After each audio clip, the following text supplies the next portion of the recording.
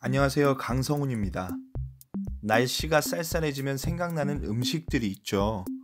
저는 오늘 청국장이 엄청 땡겨서 찾아보니 강남에서 3,500원에 청국장을 먹을 수 있는 곳이 있다고 해서 찾아왔습니다. 강남 원조 청국장집 3,500원 덜덜. 도곡동에 위치하고 있고 조금은 골목 안쪽이었습니다. 들어가 보시죠. 사장님 혼자 운영하고 계셨습니다. 계란은 500원에 추가할 수 있네요.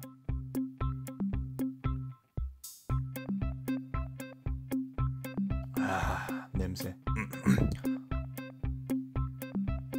갖가지 반찬들을 넣고 비벼 먹으면 더욱더 맛있는 청국장. 부추. 이것도 넣고 저것도 넣고 이것도 저것도 고추장도. 한입 하실래요?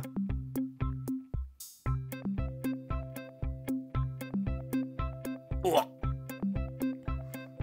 여기 청국장은 구수함은 기본 진한 느낌이 들었습니다.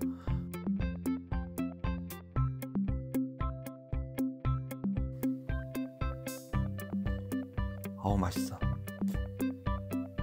또 먹고 싶네. 정말 맛있게 잘 먹었습니다. 자, 오늘도 행복하고 건강한 하루 되시고 저는 더욱더 맛있는 먹방으로 찾아오도록 하겠습니다. 여러분, 안녕. 안녕.